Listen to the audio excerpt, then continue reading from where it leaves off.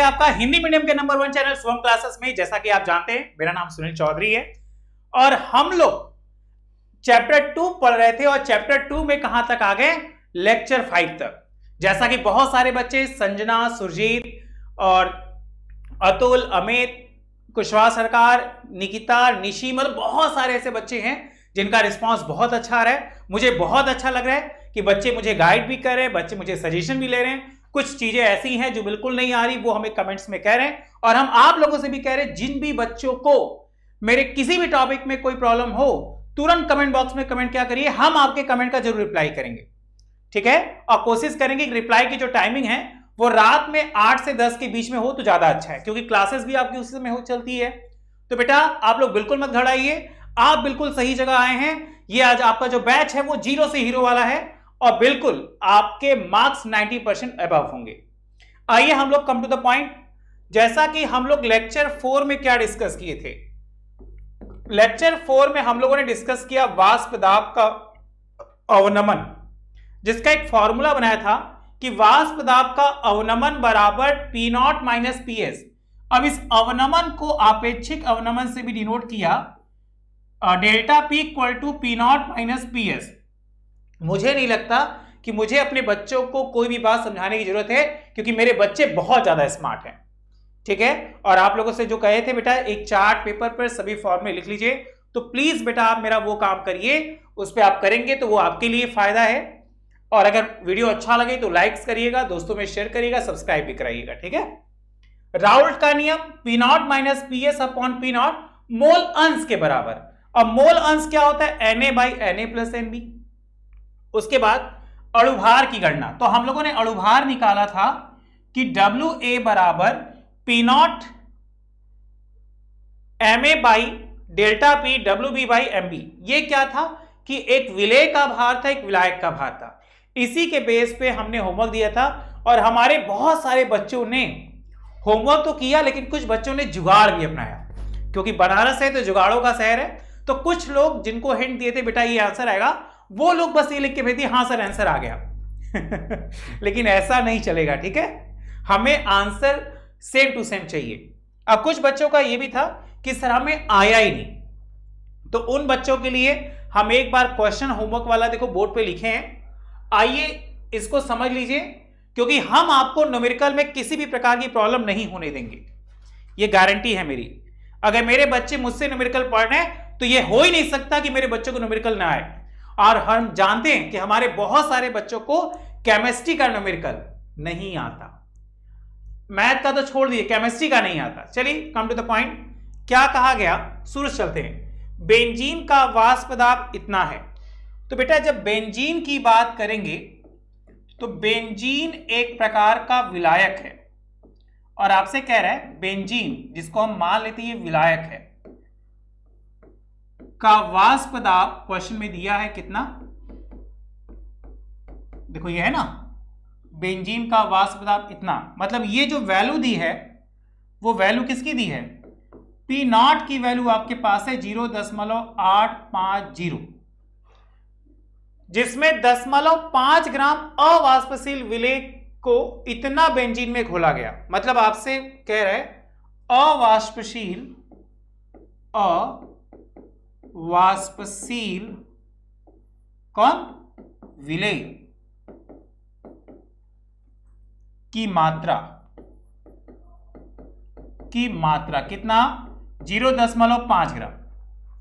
उसके बाद क्या बोला? विलयन का वाष्प दाब इतना है। तो अब क्या लिखे भाई? विलयन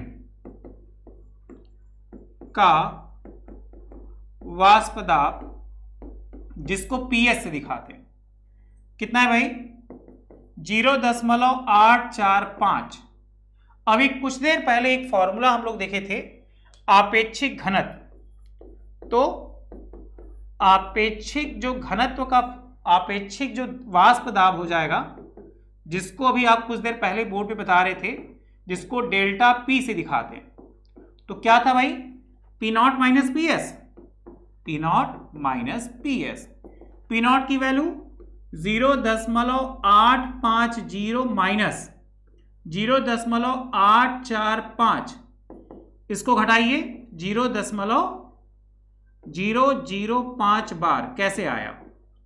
अरे ज़ीरो दशमलव आठ पाँच ज़ीरो में से ज़ीरो दशमलव आठ चार पाँच। ये इसको हासिल दिया दस दस में से पाँच गया पाँच। चार में से चार गया ज़ीरो, आठ में से आठ गया ज़ीरो, ये आई वैल्यू। ये था तरीका कैसे आया? समझने के लिए हम क्या देखते कि हम लोग के पास दो चीज़ें हैं। एक क्या है? बेंजीन। तो हम मान लेते ये एक बर्तन है। इस बर्तन में जो विलायक है, कौन भाई? विलायक। कौन? बेंजीन, जिसका फॉर्मूला है सी सिक्स एस सिक्स और दूसरा है कोई विलय पदार्थ उसका नाम नहीं दिया। बस बोल दिया आपसे, क्या? अवाष्पशील विलय है। अगर आपको न्यूमेरिकल समझ में आया हो, आएगा तो आप बस एक लाइन में कहिएगा यस सर क्लियर है। हम आपकी बातों को समझ जाएँगे कि हमारे बच्चों को न्यूमेरिकल बहुत अच्छे से आ रहा है। फिर हमसे क्या कह रहा है? फिर हमसे कह रहा है कि यहाँ पे आपको क्या बतानी है? इस विलयन में अवाष्पशील विलय का अणुभार। मतलब आपको बताना है अणुभार। किसका अणुभार? विलय का। तो इसको क्या करिए? क्वेश्चन मार्क कर लीजिए अब कोई एक ऐसा फॉर्मूला बताइए जो अणुभार का है तो कुछ देर पहले फॉर्मूला बता रहे थे, ये वाला। कि W A P naught P M A by delta P into W B M B अब इसी को लगा दीजिए। फॉर्मूला रखिए यहाँ पे। क्या हो गया? W A equal to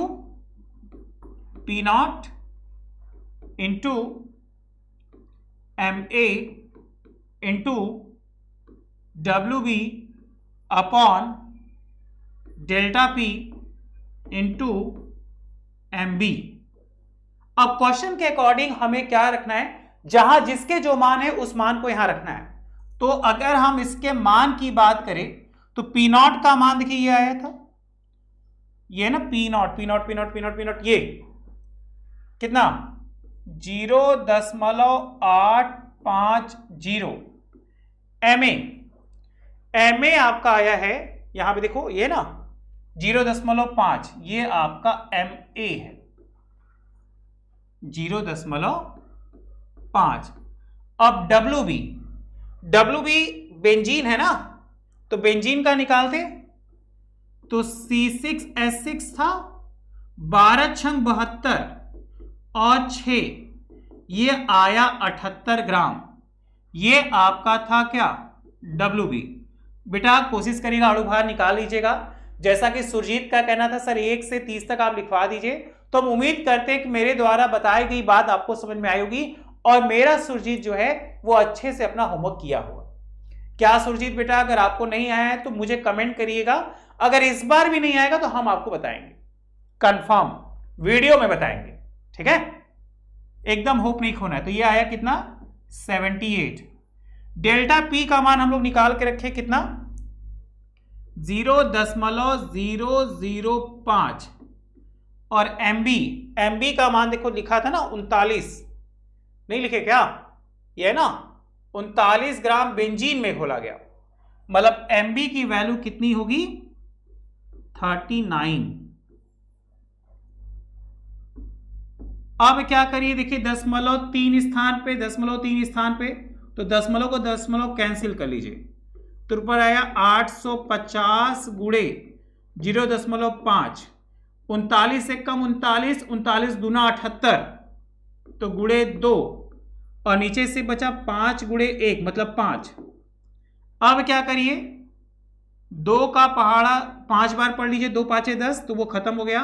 तो आया 850 बटे पाँच। अब इसको भाग कर दीजिए। 850 में पाँच का भाग करना है। तो पाँच एक कम पाँच, आठ में से पाँच गया तीन, पाँच आया पाँच सात पैंतीस। ज़ीरो का ज़ीरो आ गया। मतलब ये आ गया कितना? 170 ग्राम। ये हो गया हमारा आंसर। बताइए, क्या ये बात समझ में आई? इसको जल्दी से नोट कर लीजिए। जितनी जल्दी नोट करेंगे, उतना जल्दी क्लियर होगा और हम लोग उतना ही आगे और उतनी ही अच्छी तरीके से आगे चलेंगे। अगर मेरे बच्चों को मेरे द्वारा बताए गए न्यूमेरिकल में कोई प्रॉब्लम होगा तो बताइएगा। जैसा कि आप लोग का कमेंट था कि सर लिखने में बहुत ज़्यादा टाइम आप जाता है आपका, कोशिश कीजिए पीडीएफ से पढ़ाइए। तो बेटा, आज हम आपकी बातों को ध्यान में रखकर आज पीडीएफ से पढ़ाने वाले हैं। अगर आपको लगे कि सर पीडीएफ से ज़्यादा अच्छा आप जो लिख के समझा रहे थे उसमें आ रहा है तो आप बताइएगा। हम वैसे ही पढ़ाएँगे। अगर आपको लगे कि सर पीडीएफ से ज़्यादा अच्छा लग रहा है तो हम पीडीएफ से पढ़ाएँगे, क्योंकि ये बैच आपका है, ज़ीरो से हीरो। और जैसा अब हम बोलेंगे, वैसा आपको करना होगा, और जैसा आप बोलिएगा, बिल्कुल वैसा हम चलेंगे। ओके? तो आइए, हम लोग बात करते हैं आगे की। क्या पाया? हम लोग की हेडिंग थी, क्या थी? क्वथनांक का उन्नयन। उम्मीद करते हैं कि मेरे बच्चों को साफ़ साफ़ दिखाई दे रहा होगा। अगर किसी को नहीं दिखेगा तो आप मुझे कमेंट करिएगा। हम नेक्स्ट टाइम से थोड़ा सा और इसको अच्छा लेकर आएँगे। वैसे ऐसा हो। दोस्तों, अगर आप यूपी बोर्ड के स्टूडेंट हो तो आप सभी के लिए गुड न्यूज़ है। अन अकेडमी यूपी बोर्ड स्टूडेंट के लिए लेकर आए विक्ट्री स्कॉलरशिप टेस्ट। इसमें क्लास नाइन से ट्वेल्थ तक के बच्चे इनरोल कर सकते हैं और ये टेस्ट होगा संडे को 22 अगस्त को दोपहर साढ़े बारह बजे। इसमें क्लास नाइन से टेंथ तक के जितने बच्चे हैं, उनका टेस्ट पैंतालीस मिनट का होगा और क्लास इलेवन से ट्वेल्व तक के जितने बच्चे हैं, उनका टेस्ट साठ मिनट का होगा। और जो भी बच्चा इस टेस्ट में रैंक वन से फोर के बीच में आता है, उसे अन का सब्सक्रिप्शन बिल्कुल फ्री में मिलेगा। तो जितने भी स्टूडेंट इस वीडियो को देख रहे हैं डिस्क्रिप्शन में मैंने सभी क्लास का लिंक दिया, उस क्लास पर जाना है। जैसे ही जाओगे, वहाँ पे इनरोल नाउ का ऑप्शन आएगा, उस पर क्लिक करोगे। अगर वहाँ पर आपसे इन्वाइट कोड मांगेगा तो आप शुभम यूपी टेन इस कोड को जैसे डालोगे, आप इस स्कॉलरशिप टेस्ट में बिल्कुल फ्री में इनरोल कर सकते हो। तो जितने भी स्टूडेंट इस वीडियो को देख रहे हैं, अभी जाकर इस स्कॉलरशिप टेस्ट में इनरोल कर लो। होगा नहीं। कि ना दिखे? देखिए, क्या है? क्वथनांक का उन्नयन। तो कॉपी में चलिए हेडिंग बना लीजिए और लिखना चालू हो जाइए। मुझे पता है कि हमारे बहुत सारे बच्चे मेरे साथ साथ नोट्स बता रहे और कुछ ऐसे भी खलीफा है। खलीफा उनको कहते हैं जो सोचते हैं उनको सब कुछ आता है, लेकिन जब पूछेंगे तो कुछ नहीं आता। तो वो लोग नोट्स नहीं बना रहे तो बेटा खलीफाओं, जल्दी से नोट्स बनाओ और नोट्स बनाओगे तभी पढ़ पाओगे, वरना नेट नहीं रहेगा तो क्या पढ़ोगे यहाँ हेडिंग बनाइए, क्वथनांक का उन्नयन। लिखिए बेटा, क्वथनांक वह ताप है जिस पर वाष्प दाब का मान वायुमंडलीय दाब के बराबर हो जाता है। मतलब वाष्प दाब का मान वायुमंडलीय दाब के क्या हो जाए? बराबर हो जाए। और किसी विलयन का क्वथनांक शुद्ध विलायक के क्वथनांक से अधिक होता है। ध्यान दीजिएगा। विलयन का क्वथनांक विलायक के क्वथनांक से अधिक क्यों होता है? क्योंकि जो विलयन है, वो दो चीज़ों का मिश्रण है। विलय और विलायक का भी। अरे बच्चों, अगर हम इसमें दो कंपोनेंट्स रखेंगे तो मात्रा बढ़ेगी ना? तो ये मात्रा क्यों बढ़ी? क्योंकि उसमें विलय घुल गया। तो क्वथनांक का उन्नयन यही से समझिएगा कि क्वथनांक का उन्नयन जो होता है, उसमें विलयन के मात्रा अधिक होगी किससे? विलायक से। ओके? आइए एक बार फिर से समझते हैं। क्वथनांक वह ताप है जिस पर वाष्प दाब का मान वायुमंडलीय दाब के बराबर हो जाता है। किसी विलयन का क्वथनांक शुद्ध विलायक के क्वथनांक से अधिक होता है। यह क्वेश्चन आया था 2016 का। कि विलयन का क्वथनांक विलायक से अधिक क्यों होता है? ऐसा कुछ सवाल मन में आपके आया होगा। इसीलिए एग्जामिनर ने 2016 के पेपर में यह क्वेश्चन दिया था कि आखिर क्यों होता है? तो क्योंकि विलय और विलायक आकर्षण के कारण संगुणन से क्वथनांक में क्या हो जाती है? वृद्धि हो जाती है। इनके कहने का मतलब यह है कि विलयन दो चीज़ों का मिश्रण है विलय और विलायक। तो विलय का भी कुछ क्वथनांक होगा। विलायक का भी कुछ क्वथनांक होगा। मान लो, हम विलायक का क्वथनांक 78 रख रहे हैं और विलय का क्वथनांक हम रखे 22 तो अब इन दोनों को जोड़ेंगे बेटा, तभी ना विलयन होगा 100 डिग्री का। तो ये 100 और ये 78 तो कौन बड़ा? अरे सीधी सी बात 100 बड़ा। तो विलयन का क्वथनांक हमेशा विलायक से अधिक होगा। उसी को कहेंगे क्वथनांक का उन्नयन।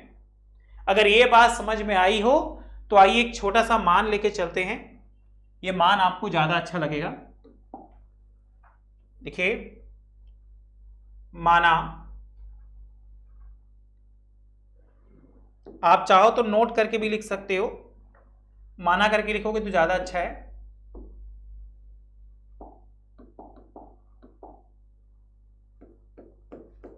नोट करके या माना करके, माना शुद्ध विलायक का क्वथनांक। अब क्वथनांक को टेम्परेचर कहते हैं और इसको बॉइलिंग करते इसलिए टीबी बी का मतलब क्या है? बॉइलिंग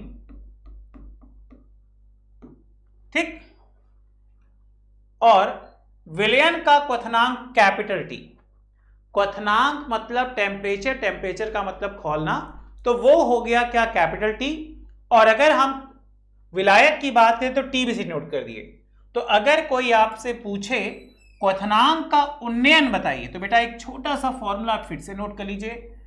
और बच्चों, फॉर्मूला हमेशा चार्ट पेपर पर नोट करिए, जैसा कि कुछ बच्चों ने अपने चार्ट पेपर मुझे भेजे। ये बात मुझे बहुत अच्छी लगी कि हमारे बच्चे हमारे द्वारा दिए गए चीज़ों को फॉलोअप कर रहे हैं।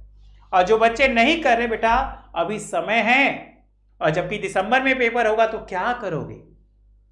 क्या है? क्वथनांक के उन्नयन का फॉर्मूला हो गया डेल्टा टीबी बराबर टी माइनस टीबी। अब याद रखिए, ये डेल्टा टीबी है, ये शुद्ध विलायक है और ये टीबी हो गया। ओके? अतः विलयन के क्वथनांक व विलायक के क्वथनांक का अंतर क्वथनांक उन्नयन कहलाता है। अगर कोई आपसे पूछे कि क्वथनांक उन्नयन किसे कहते हैं तो बस एक लाइन में आंसर दीजिएगा क्या? विलयन के क्वथनांक और विलायक के क्वथनांक का जो अंतर होता है, विलयन के क्वथनांक को टी और विलायक के क्वथनांक को टीबी इन दोनों के अंतर को ही डेल्टा टीबी कहते हैं, जिसको क्वथनांक का उन्नयन कहा जाता है। इसको नोट कर लीजिए तो हम ग्राफ बताएँगे और ये ग्राफ बहुत इंपॉर्टेंट है। अगर ये तीन नंबर में आता है और मेरे प्यारे बच्चों, अगर ग्राफ आप बनाएँगे तो एग्जामिनर आपके मार्क्स नहीं काटेंगे, तीन में से तीन मार्क्स तुरंत देंगे। और अगर आप ग्राफ नहीं बनाएँगे न्यूमेरिकल नहीं करेंगे तो एग्जामिनर समझेगा कि बच्चे को कुछ नहीं आ रहा है। अगर आप ग्राफ बनाएँगे न्यूमेरिकल करेंगे तो एग्जामिनर सोचेगा बच्चा बहुत अच्छा कर रहा है। तो आपकी जो छोटी मोटी गलती होगी उसको भी हटा देगा और नहीं तो काट देगा। ठीक है? तो हेडिंग बनाइए ग्राफ एक छोटी सी हेडिंग बनाइएगा ग्राफ ग्राफ देखिए, आप देख सकते हैं साफ़ साफ़, बहुत अच्छा ग्राफ है। ये ग्राफ वैसे दो ही बार आया है, एक 2012 और एक 2014 हो सकता है इस बार भी आ जाए। आप चाहो तो हेडिंग करके ऐसे दे दो। और चाहे तो ग्राफी निरूपण करके हेडिंग दे दो। ग्राफी निरूपण। क्या बेटा? वाष्पदाब अवनमन। वाष्पदाब के अवनमन को पी नॉट से कहते हैं। और क्वथनांक उन्नयन। क्वथनांक के उन्नयन को डेल्टा टीवी से कहते हैं। में क्या संबंध होता है? हम लोग बात करते हैं कि ग्राफ में दो अक्ष होते हैं। एक होता है एक्स अक्ष, एक होता है वाई अक्ष। जब एक्स अक्ष की बात करते हैं तो एक्स अक्ष पे हम किसको रखते हैं? क्वथनांक के उन्नयन को। और वाई अक्ष पे किसको रखते हैं? वाष्पदाब अवनमन को। ठीक है? वाष्पदाब अगर विलयन का ले ले तो पीएस और विलायक का ले ले तो पी नॉट तो हमने क्या पाया कि जब कैपिटल टी था मतलब विलायक तो आया बी पे। जब कैपिटल टी भी था तो आया सी पे। और यहाँ पे विलायक था तो आया ए पे। मतलब एक त्रिभुज बन के आ रहा है ए, बी, सी। देखिए ये। नहीं? मतलब ग्राफ के अनुसार क्या पाया ग्राफ के अनुसार? डेल्टा एबीसी या तो त्रिभुज एबीसी पढ़ेंगे तो ज़्यादा अच्छा है। त्रिभुज एबीसी में जो त्रिभुज ए सी बी का कोण होगा, ये वाला, यही होगा 45 डिग्री। क्योंकि यहाँ की बात करेंगे तो यहाँ 90 डिग्री का कोण आएगा। तो टेन 45 डिग्री की जो वैल्यू हो जाएगी, वो हो जाएगी डेल्टा पी बटे डेल्टा टीबी क्यों? क्योंकि हम लोग जानते हैं, मैथ के स्टूडेंट हैं टेन का मान होता है लंब बटे आधार। तो इसमें लंब क्या है भाई? साफ़ साफ़ देखने को मिल रहा है कि इसमें जो लंब है वो डेल्टा टीबी ए बी देखो ना यहाँ पे, इसको हम ऐसे भी लिख सकते हैं ए बी बटा बी सी ए बी की जगह हो गया डेल्टा पी और टी बी सी की जगह हो गया डेल्टा टीबी तो फॉर्मूला हो गया टेन पैंतालीस डिग्री बराबर delta P upon delta T अब हम लोग क्या जानते हैं? हम लोग जानते हैं कि टेन पैंतालीस डिग्री मतलब फोर्टी फाइव डिग्री का मान होता है एक। क्योंकि मेरे बच्चे त्रिकोण मिति पढ़े और त्रिकोण मिति में उनको पता है किसका मान हो गया कितना? एक। तो एक बराबर डेल्टा पी बटे डेल्टा टीबी एक बटा एक कर दो, तिरछे गुणा कर दो तो क्या हो गया?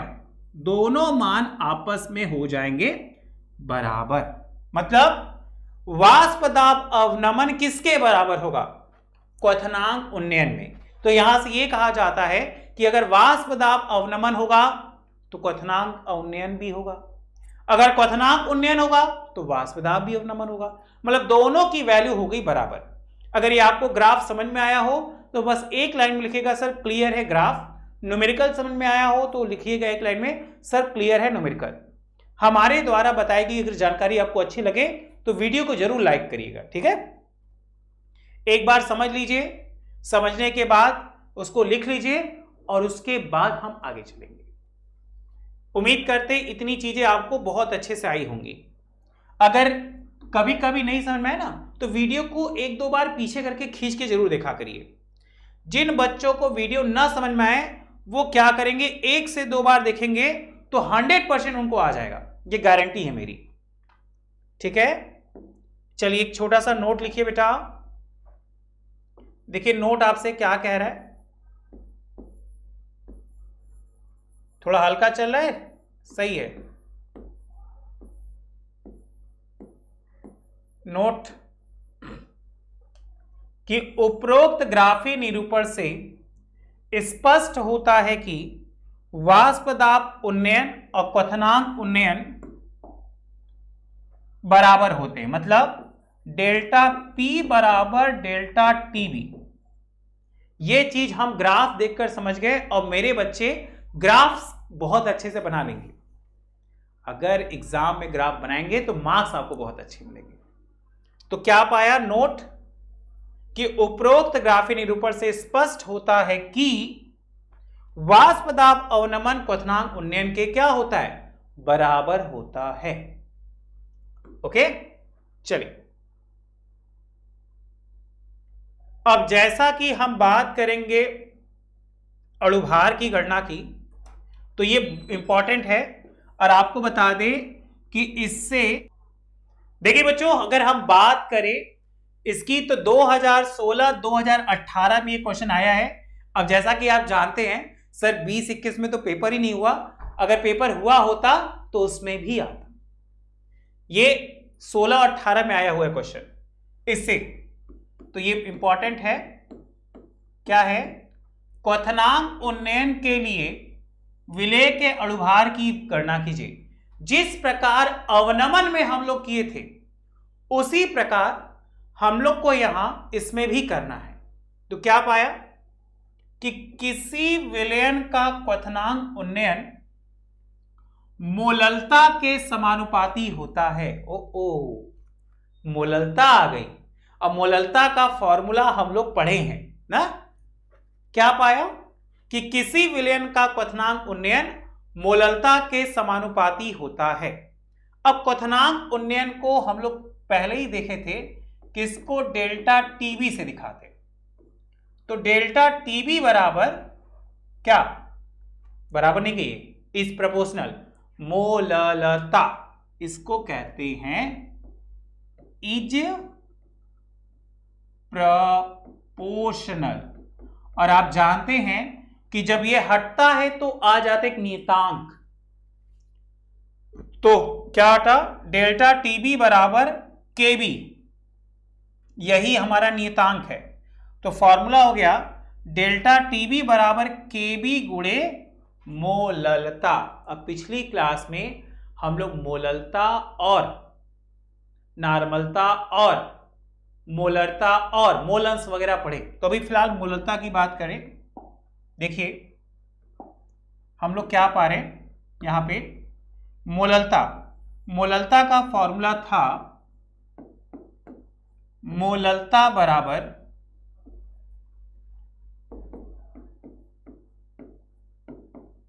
विलय के मोलों की संख्या।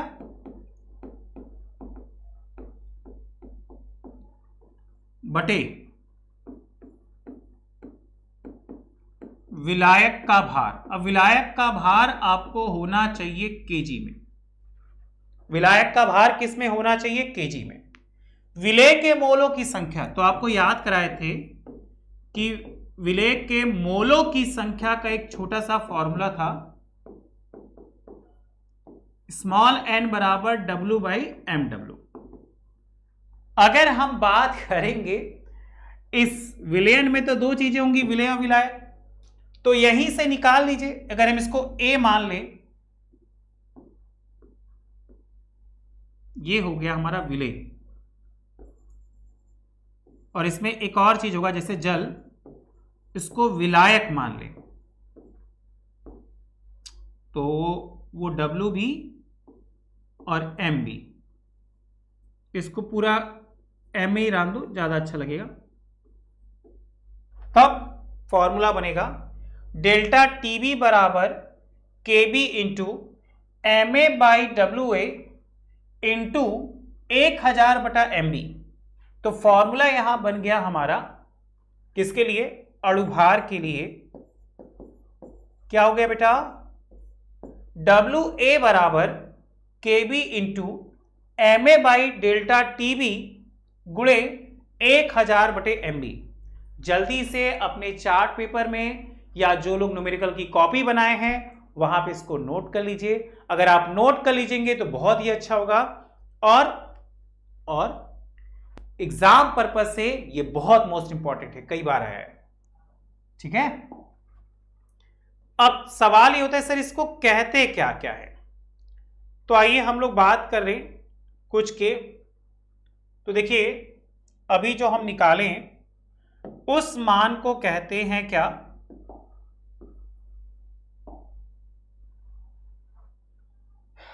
केवी।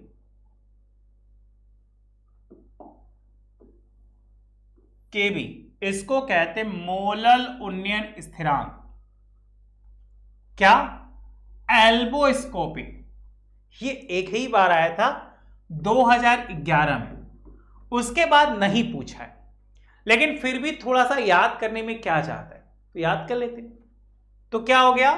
केबी, मोलल उन्नयन स्थिरांक एल्बोस्कोपिक एक छोटा सा नोट। क्या है? कि यदि किसी विलयन की मोललता इकाई होती है तो उस विलयन का क्वथनांक उन्नयन मोलल स्थिरांक कहलाता है। ध्यान दीजिएगा। क्वेश्चन ऐसे भी बन सकता है कि मोलल मोलल उन्नयन स्थिरांक किसे कहते? तो मोलल उन्नयन स्थिरांक किसे कहते? कि यदि किसी विलयन की मोललता इकाई होती है तो उस विलयन का क्वथनांक उन्नयन मोलल उन्नयन स्थिरांक कहलाता है। या न्यूमेरिकल्स कि मोलल उन्नयन स्थिरांक की गणना वाष्पन एंथैल्पी से निम्न प्रकार की जाती। क्वेश्चन बन सकता है कि मोलल उन्नयन स्थिरांक की गणना वाष्पन एंथैल्पी से बताइए। तो वाष्पन एंथैल्पी से कैसे करेंगे? ये जानने के लिए सबसे पहले इसको करिए कॉपी कॉपी करेंगे तो बहुत अच्छा रहेगा और हम लोग बहुत अच्छे से कर सकेंगे, ठीक है? देखिए बेटा, एकदम साफ़ साफ़ दिख रहा होगा आपको। क्या पाए?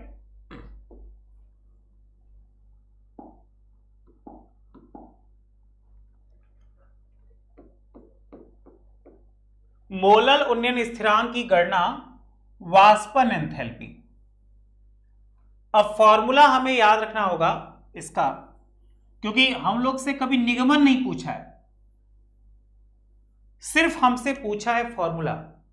तो चार्ट पेपर में एक फॉर्मूला और नोट कर लो। कम से कम 30-35 फॉर्मूले हम आपको बता दिए। अब यह है कि आपको याद कितना होता है। तो यहाँ पे सबसे पहले कैपिटल एम कैपिटल एम कहते हैं विलायक का अणुभार। आर गैस स्थिरांक या गैस नियतांक। आर का मान तो आपको याद ही होना चाहिए। चलिए एक छोटा सा होमवर्क दे रहे हैं। आप लोग बताइएगा। क्या? आर का मान बताइए।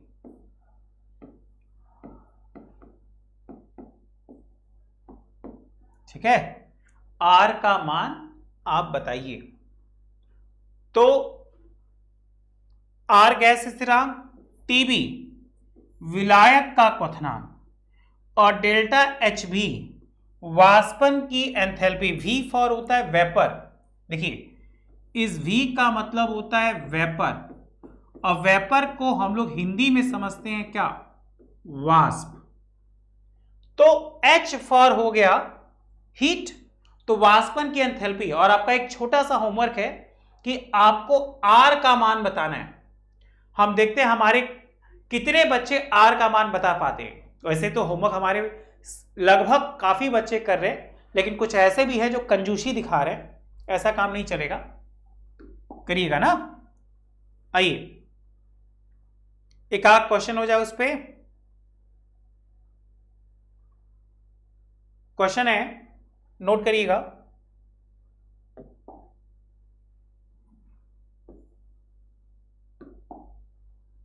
सौ ग्राम जल में पाँच ग्राम विले डालने पर। मतलब मान लो ये बर्तन है। इस बर्तन में हम क्या रख दिए? जल रख दिए। कितना रख दिए? सौ ग्राम रख दिए। जल हमेशा क्या होता है? विलायक होता है। नलायक का छोटा भाई है विलायक। और पाँच ग्राम विले, नाम नहीं बताया। सिर्फ़ कह दिया है कि विले जो है, ये विले पाँच ग्राम है। आगे देखिए। क्वथनांक में इतने की वृद्धि हो गई। कितना? 0.49 के। मतलब आपको डेल्टा टीबी का मान दे दिया कितना? 0.49 के। के मतलब कैलविन। अगर एग्ज़ाम में सेल्सियस दिया होता तो पहले उसको कैलविन में चेंज करते इस फॉर्मूले से। जितना भी सेल्सियस होता, उसमें दो सौ तिहत्तर जोड़ देते। लेकिन हमसे तो कैलविन दे दिया तो जोड़ने की ज़रूरत ही नहीं है। जल की मात्रा साफ़ साफ़ कहा 100 ग्राम। विलय की मात्रा 5 ग्राम। केबी। केबी हम लोग को याद हो गया ये, कि ज़ीरो दशमलव पाँच दो कैलविन किग्रा प्रति मोल। ज़ीरो दशमलव पाँच दो कैलविन किग्रा प्रति मोल। तो ये हो गया फॉर्मूला। फॉर्मूला की बात करें तो अभी कुछ देर पहले हम फॉर्मूला लिखवाए थे, आपको याद होगा। क्या बच्चा?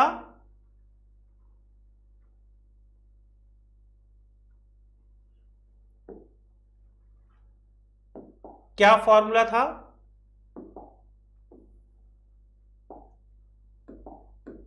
देखिए, ये। डब्ल्यू ए बराबर K B equal to M A by delta T B into thousand by M B K B का मान पता चल गया इतना। एम ए का मान पाँच ग्राम डेल्टा टी बी का मान ज़ीरो दशमलव चार नौ, एक हज़ार तो एक हज़ार और एम बी जो है सौ ग्राम। अब क्या करते हैं कैलकुलेशन कैलकुलेशन में क्या करते हैं? इस ज़ीरो से इस ज़ीरो को काट लेते हैं। पाँच का गुड़ा इसमें कर देते तो हो गया कितना? पचास। ये दशमलव से ये दशमलव हटा लेते तो कितना हो गया? बावन। और नीचे कितना हो गया? उनचास। अब बावन का पचास में कर देते हैं गुड़ा तो आ गया छब्बीस सौ बटे उनचास। और जब कैलकुलेटर या मोबाइल की सहायता से छब्बीस सौ बटे उनचास किए तो मान आ गया आपका तिरपन दशमलव ज़ीरो छ ग्राम। अगर ये न्यूमेरिकल समझ में आया है तो एक न्यूमेरिकल हम दे देते हैं आपको होमवर्क अब कहोगे, सर न्यूमेरिकल आप होमवर्क बहुत देते हैं। बेटा, इसलिए देते हैं कि ये आपको एग्ज़ाम में हेल्प करेंगे। एमसीक्यू आएगा तो सिर्फ़ थ्योरी नहीं आएगा। अरे बच्चों थ्योरी के साथ न्यूमेरिकल भी आएगा। तो एक अवाष्पशील विलय के जली विलयन में होमवर्क लिखिए। एक अवाष्पशील विलय के जली विलयन, जिसमें विलय की मात्रा पाँच ग्राम, एक हज़ार ग्राम। देखिए, वहाँ सौ था, यहाँ एक हज़ार कर दी, खुली है। तो यह विलयन के तीन सौ तिहत्तर दशमलव चार कैलविन पर उबलता रहता है। तो विलय के अणुभार की गणना कीजिए।